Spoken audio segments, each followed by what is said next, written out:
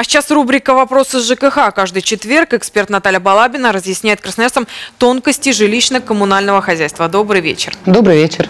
Ну и первый вопрос. После отключения отопления в летнее время должны ли работать полотенцесушители а, в домах? Если в вашей квартире полотенцесушитель подключен к системе отопления, то, соответственно, когда отключается отопление, полотенцесушитель работать не будет.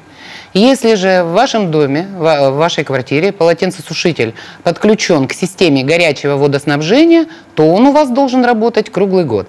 В любом случае, я вам могу порекомендовать обратиться в свою управляющую компанию, и вам подскажут, какой э, у вас какой проект был системы и как должен работать ваш полотенцесушитель. А поменять можно? Нет, к сожалению, дома строились, это в основном пятиэтажки, э, хрущевки, как мы их в народе называем.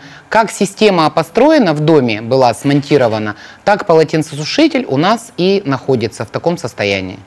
Спасибо. И второй вопрос. Хочу посадить дерево во дворе. Должен ли я согласовывать это с управляющей компанией? Ну, давайте представим себе девятиэтажный дом, четырехподъездный, где 200 квартир, и каждый житель решит посадить дерево. Надо понимать, что придомовая территория – это общее имущество всех собственников многоквартирного дома. Существуют нормы, ну, например, на каком расстоянии от окон можно садить деревья. То есть в любом случае, если собственник, один из собственников пожелал посадить дерево во дворе в своем, да, на придомовой территории, обязательно необходимо это согласовать с управляющей компанией. Но, как правило, этой работой занимаются председатели советов многоквартирных домов.